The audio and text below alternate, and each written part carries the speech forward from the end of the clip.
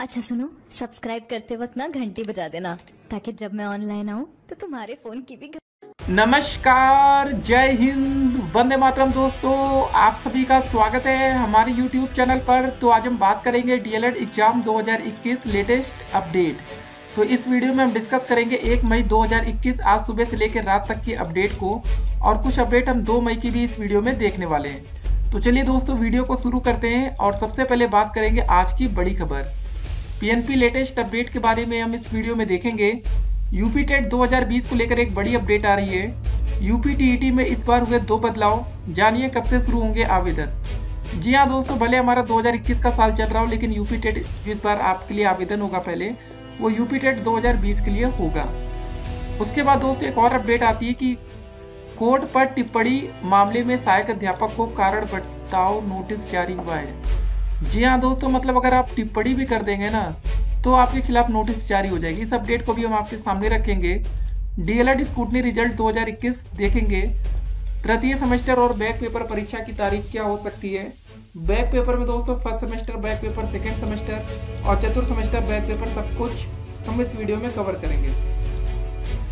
चलिए दोस्तों, कुछ पहले बड़ी अपडेट्स को हम आपके सामने रख दे, नहीं तो फिर आप परेशान होंगे। इस अपडेट को जरा देखिए। अपडेट आई उत्तर प्रदेश से। ऑक्सीजन मुहैया करवा रहा मतलब कोरोना मरीजों की जान बचाने वाले युवक पर मुकदमा हो गया। जी हाँ दोस्तों मतलब ऐसे समय में जब कोई इंसान किसी की जान बचा रहा है तो उस पर केस ठोक दिया जा रहा है। इस अपडेट को भी हम आपके सामने रखेंगे। जी हाँ दोस्तों, हो सकता है कि कल को ज़रूरत आपको ऑक्सीजन की पड़ जाए और कोई आपको बंदा ऑक्सीजन दे दे, लेकिन उस पर ही केस करेंगे। तो क्या आने वाले समय में कोई ऑक्सीजन आपको प्रोवाइड कराएगा? उसके बाद इस नोटिस को जरा आपके सामने रखते हैं। देखिए दोस्तों, पंचायत चुनाव की जो काउंटिंग है वो कल होगी। वैसे ये खबर आप तक पहुँच चुकी होगी, देखिए। अपडेट है सुप्रीम कोर्ट से। सुप्रीम कोर्ट ने यूपी पंचायत चुनाव की मतगणना की इजाज़त दे दी है। रविवार से शुरू हो जाएगी मतगणना। मतलब कल मतगणना शुरू होगी। उसमें दोस्त भैया कोई टीचर थे, उन्होंने क्या पोस्ट कर दिया? देखिए, इस अपडेट को जरा देखिए। उन्होंने क्या कहा था कि कोर्ट के खिलाफ इन्होंने क्या बोला? कि खुद वर्चुअल कोर्ट चला रहे हैं और हमको बता रहे हैं कि मतगणना ड्यूटी कर लो, कोई दिक्कत नहीं होगी। इसलिए नेता लोग इज़्ज़त नहीं करते हैं। जी हाँ दोस्तों, ये बात कही जा रही कोर्ट के खिलाफ कि भैया इसीलिए कोई इज़्ज़त आजकल नहीं करता नेता लोग कोर्ट की। जान रहे हैं, दोगला हो तुम। आज देश की न्याय व्यवस्था से विश्वास उठ गया। वारे सुप्रीम कोर्ट लानत है तुम पर प्रसारित किया गया। जी हाँ दोस्तों, एक टीचर ने भैया ऐसा कुछ पोस्ट कर दिया तो उन पर कारण बताओ नोटिस जारी किया गया है। जी हाँ दोस्तों मतलब आज ऐसी नौबत है ना दोस्तों देश में कि चार लाख से ज़्यादा केसेस एक दिन में आ रहे कोरोना के, तीन हज़ार पाँच सौ से ज़्यादा लोगों की जाने जा रही हैं। जी हाँ दोस्तों, और नौबत ऐसी आ गई है, हम आपको बता रहे हैं यहाँ का हाल कि अगर कोई मर भी जा रहा है ना तो कोई गाड़ी वाला आने को तैयार नहीं है। लोगों को साइकिल से उठाकर लेकर जाना पड़ रहा है डेड बॉडी। इतना डर भी है ना कि भाई कोरोना से मर गए अब कौन लेके जाएगा। तो सरकार को इस समय चाहिए कि एक सख्त लॉकडाउन करे कुछ समय के लिए, ताकि कोरोना दोस्तों एक बार कंट्रोल में आ जाए। और ऊपर से जो टीचर बेचारे डरे हुए हैं, कम से कम इनको कुछ दिन के लिए छुट्टी दे दी जाए। अगर किसी टीचर को लग रहा है कि उनकी जान जा सकती है तो उनको छुट्टी क्यों नहीं दी जा सकती? सात सौ से ज़्यादा टीचरों की जाने जा चुकी हैं अब तक कोरोना वायरस के कारण। तो क्या इनको छुट्टी नहीं मिल सकती है? मतलब होता है ना गाइस चिल्ला चिल्ला के टीचर कह रहे हैं कि हमें बचा लो। उम्मीद थी सबको सुप्रीम कोर्ट से कि भैया मतगणना टाल दी जाएगी स्टे हो जाएगा। जी हाँ दोस्तों, आपने देखा होगा कि डीएलएड का पेपर स्टे हो गया। वैसे डीएलएड की डेट सीट ही नहीं आई थी। तो यूपी बोर्ड परीक्षा दोस्तों स्टे हो गया। सीबीएसई की परीक्षा स्टे कर दी गई। मतलब सभी बच्चों का मतलब जो पेपर वेपर होने वाला था, उसको स्टे कर दिया जाता है पोस्टपोन कर दिया जाता है। जबकि आपको पता है कि किसी भी सेंटर पर अगर आप एग्ज़ाम देने जाएँगे तो कम से कम दो बच्चों के बीच में डिस्टेंस दोस्तों मेंटेन की जाती है। ठीक है, कोरोना का समय काफ़ी डिस्टेंस मेंटेन की जा सकती थी, परीक्षा कराई जा सकती थी, लेकिन परीक्षा को टाल दिया जाता है, लेकिन इसी बीच मतगणना होगी। आपको पता है कि भैया जब कल चुनाव की काउंटिंग की जाएगी, उसके बाद जो भी पार्टी जीत हार होगी तो पार्टी जश्न होना ही है। भले दोस्तों कोर्ट के कितने सख्त नियम हो, लेकिन करने वाले लोग करेंगे। क्या कोरोना की स्थिति यहाँ पे नहीं बढ़ेगा क्या इसको रोका नहीं जा सकता था? मतलब आप ये समझ लीजिए, अगर कल चुनाव की मतगणना रोक दी जाती तो क्या ऐसा कोई पहाड़ टूट पड़ता? कि इतना ज़्यादा ज़रूरी है कि नहीं भैया, कल के कल इसको करना है। भगवान जाने। इस अपडेट को पहले हम आपके सामने रखते हैं। यूपी में ऑक्सीजन के लिए तड़प रहे मरीजों की जान बचाने वाले युवक पर ही मुकदमा दर्ज हो गया। अपडेट जरा देखिए। कोरोना संक्रमण में लाचारी और बेबसी का आलम हर रोज देखने को मिल रहा है। दवा की ज़रूरत हो या फिर ऑक्सीजन की सिस्टम की कमी के आगे हर कोई मजबूर है। ऐसे ही लोगों की मदद करने वाले कुछ लोग आगे आए हैं। कोई उनके लिए खाना पहुँचा पहुँचा रहा है तो कोई सिलेंडर लेकिन संक्रमण के इस दौर में ज़रूरतमंदों की मदद करना भी मुसीबत से कम नहीं है। ज़रूरतमंदों की मदद के लिए आगे आ रहे लोगों पर भी स्वास्थ्य विभाग नकेल कस रहा है। यूपी के दोस्त जौनपुर में ऐसा ही एक मामला सामने आया है। लोगों की जान बचाने वाले व्यक्ति पर ही प्रशासन ने गाद गिरा दी। कल तक दर्जनों मरीजों को अपने पैसों से ऑक्सीजन मुहैया कराकर जान बचाने वाले एंबुलेंस मालिक पर ही पुलिस ने मुकदमा दर्ज कर दिया।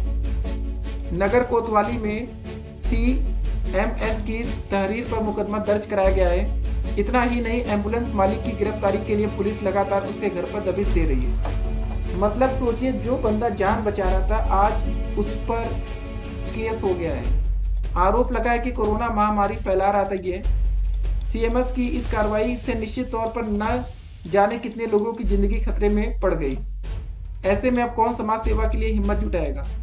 जी हाँ दोस्तों, ये बहुत ही बड़ी अपडेट इसको आप लोग वीडियो को शेयर करिएगा अपने दोस्तों के साथ। नहीं तो अगर कोई बंदा आपकी मदद करता है ना, जब सोचेगा, भैया, पुलिस ही मेरे पीछे पड़ जाएगी तो हम क्यों करें? आगे की अपडेट जरा देखिए। जानकारी के अनुसार जिला अस्पताल में मरीजों की, ठीक है तांता लगा था। अस्पताल में ऑक्सीजन की कमी होने के कारण मरीजों का इलाज समय से नहीं हो पा रहा था। जी हाँ दोस्त, अगर आप किसी भी हॉस्पिटल में जाए ना, अगर आपको बेड खाली ना मिले तो याद रखिएगा कि भैया ये सरकार की कहीं ना कहीं कमी है। सरकार का मतलब कंट्रोल नहीं रह गया, नहीं तो हॉस्पिटल में बेड तो खाली होते। आपको पता होगा, सरकार सब कुछ प्राइवेटाइजेशन कर रही थी। आज सभी को सरकारी अस्पताल ही याद आ रहे याद रखिएगा गाइस इसीलिए कहते हैं कि कुछ भी सरकार अगर प्राइवेट को बेच रही है तो ये आपके साथ धोखा है। मुसीबत के समय लोगों को सरकारी ही हॉस्पिटल याद आते हैं, फिर किसी को प्राइवेट नज़र नहीं आता। प्राइवेट वाले तो भैया लूटम लूट मचा रखे हैं, अगर आप जाएँ तो हो सकता है कि आपकी ज़िंदगी भर की कमाई एक हफ़्ते में निकल ली जाए प्राइवेट हॉस्पिटल की तरफ़ से। देखिए दोस्तों, मरीजों की को मतलब ज़मीन पर तड़पता देख कर नगर के अहियापुर मोहल्ले का निवासी व प्राइवेट एंबुलेंस संचालक विक्की अग्रहरी खुद अपने स्तर से ऑक्सीजन की व्यवस्था करके मरीजों को ऑक्सीजन देने लगा। विक्की के अनुसार दोस्तों, उसने 27 से लेकर 28 मरीजों को ऑक्सीजन देकर उनकी जान बचाई है। यह खबर जब मीडिया के ज़रिए सुर्खियों में आई तो अस्पताल प्रशासन की कलई खुल गई। जी हाँ दोस्तों, भाई, अस्पताल की इज़्ज़त तो जली गई ना। बेजती होने लगी कि भाई, अस्पताल वाले कुछ कर नहीं पा रहे थे। माना जा रहा है कि किरकरी होने से नाराज़। सीएमएस ने देर शाम नगर कोतवाली में महामारी फैलाने का मुकदमा दर्ज करा दिया। तो गाइस ये सब चीज़ें हो रही हैं देश में। अब आने वाले समय में आपको जब वोट करने घर से निकले ना, बहुत चीज़ें ध्यान में रखिएगा कि कैसे कैसे दोस्तों आपने दिन देखे हैं सबसे बुरी हालत हमारे देश में इस समय कोरोना से, इसमें नो डाउट है। आप लोग घर पर रहिए, सतर्क रहिए, क्योंकि इस समय दोस्तों अगर आप कोरोना से बच गए ना, फिर काफ़ी पार्टीज़ होती रहेंगी, शादी विवाह जो इस समय चल रहा है ना, बहुत ही खतरनाक है। हो सके तो आप लोग सुरक्षित रहेंगे तो बेहतर होगा। तो उसके बाद एक और अपडेट आई है एक बड़ी खुशखबरी है, देखिए दोस्तों। कोरोना मरीजों को राहत के लिए सीएम योगी का आदेश है, ऑक्सीजन सिलेंडर लेकर जा रहे लोगों को रोका ना जाए। जी हाँ दोस्त, अगर आपको पुलिस परेशान कर रहे या कोई भी करे तो भैया ये योगी जी की तरफ़ से एक बड़ी अपडेट है। जी हाँ दोस्तों कभी कभी सरकार अच्छे काम भी करती है तो उसकी तारीफ़ भी होती है। अपडेट क्या है कि मुख्यमंत्री योगी आदित्यनाथ ने सभी डीएम व एसपी से कहा है कि यदि कोई व्यक्ति किसी मरीज़ के लिए ऑक्सीजन सिलेंडर की रिफिलिंग के लिए जा रहा है तो उसे यथासंभव सहयोग किया जाए, उसे रोका बिल्कुल भी ना जाए। मुख्यमंत्री ने शनिवार को कोविड 19 की स्थिति की समीक्षा करते हुए हुई बैठक में कहा कि मरीज़ के परिजनों के साथ संवेदनशील व्यवहार किया जाना अपेक्षित है। हमारा सहयोगपूर्ण रवैया परिजन के लिए इस आपदा काल में बड़ा संबल होगा। हेल्पलाइन में सेवाएँ दे रहे कर्मियों को समुचित जानकारी दें। अस्पताल में भर्ती मरीजों के परिजनों को दिन में कम से कम एक बार उनके मरीज़ के स्वास्थ्य की जानकारी ज़रूर दी जाए। स्वास्थ्य मंत्री इस व्यवस्था को सुनिश्चित कराए। तो गाइस ये बड़ी अपडेट है और मतगणना स्थल पर रैपिड एंटीजन एंटीजन टेस्ट की व्यवस्था रहे। तो चलिए ठीक है, जो हो रहा हो रहा है, लेकिन एक अच्छी खबर दोस्तों ये थी ना।